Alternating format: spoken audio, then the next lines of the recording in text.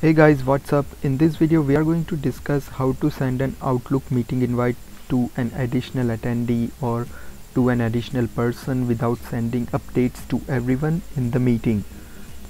Sometimes when we are trying to forward or update a meeting invite, one of the problem we face is the update goes to every single person in the meeting, which we don't want. We only want to update a single person or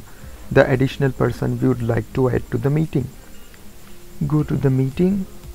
open the meeting and add the additional attendee whomsoever you would like to add to the meeting let's say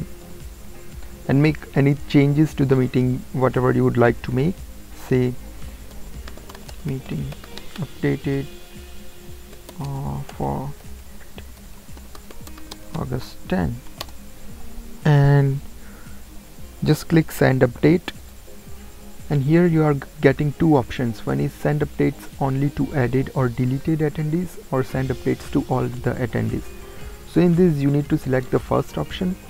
which will send the meeting invite to only the person who's been added or only the person who has been deleted while the next option will send update to everyone. So I'll just add this one and it has been sent and we are done